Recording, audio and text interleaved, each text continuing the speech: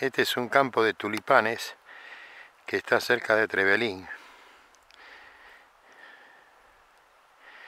Aquí cultivan los bulbos de los tulipanes, las flores las desechan y luego venden el bulbo.